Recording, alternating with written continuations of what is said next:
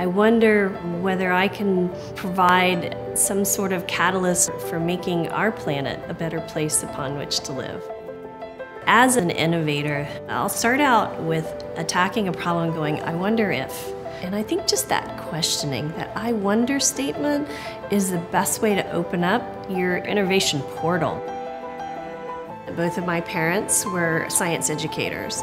I think that when I look at me and the opportunities I had and what I was eventually going to become really didn't have any other option than to go into science because I had such great role models. Being raised with a family that always wanted to be out experiencing the wonders of nature started it off.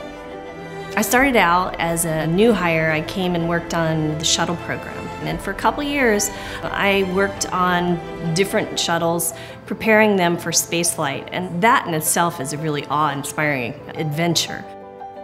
I had an opportunity to switch gears and start moving into a field that allowed me to begin restoration of contaminated groundwater. Groundwater contamination is certainly a global problem. EZVI stands for Emulsified Zero Valent Iron, and it is an emulsion and water system used to degrade contamination in the subsurface in your groundwater.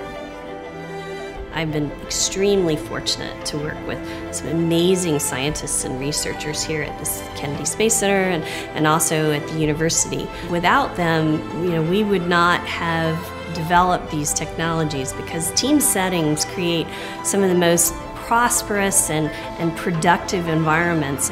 EZVI is one of the most licensed technology for NASA to date.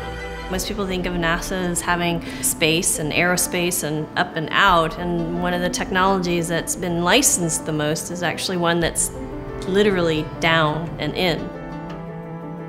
I think it's neat to kind of be part of that first mission that goes and looks for those first sets of resources that may enable that further human exploration past the moon, on to Mars, and beyond. I wonder what it's going to be like in 50 years to live on another planetary body. I wonder. I wonder what it's going to take to get us there.